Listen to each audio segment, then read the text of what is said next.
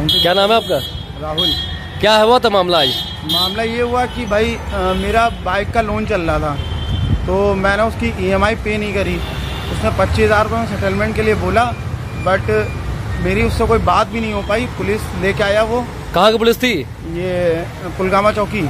पुलगामा चौकी आपकी चौकी तो सेमल लगती है। हाँ तो वहाँ तो कोई नहीं आया था। तो पुलगामा चौकी इंचार्ज क्यों गए थे? अब ये मेरे को क्या पता वो लेके आया मेरी गाड़ी उठा लिए ना कोई नोटिस मिली है मेरे को ना तो कुछ मिला पुलिस ने पुलिस के दबाव में गाड़ी दी है आपने? जी बिल्कुल। तो पुलिस को धमकी भी दे रही पुलिस क्या कोई आपको? पुलिस वाले बार बार मेरी गाड़ी की चाबी मांग रहे थे मैंने नहीं दिया तो रिक्शे पे धक्का का धक्का का दिया था पुलिस ने? नहीं धक्का का नहीं दिया था हाँ। लेकिन मेरी गाड़ी की चाबी मैंने ना देने पे उन्होंने बाहरी लड़के बुलवा के गाड़ी लोड करवा ली है रिक्शे पे मेरी गाड़ी भी टूट गई है। थाना कौन सा लगता है?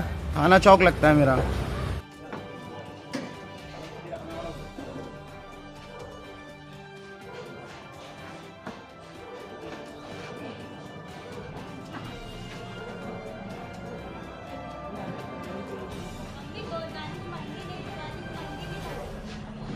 लाए थे पैसा तुमका दे रहा हूँ तो कहे नहीं तो हम नहीं जानते बाबू आप कितने उनका काम हम हमारे तेरे नहीं देखा नहीं.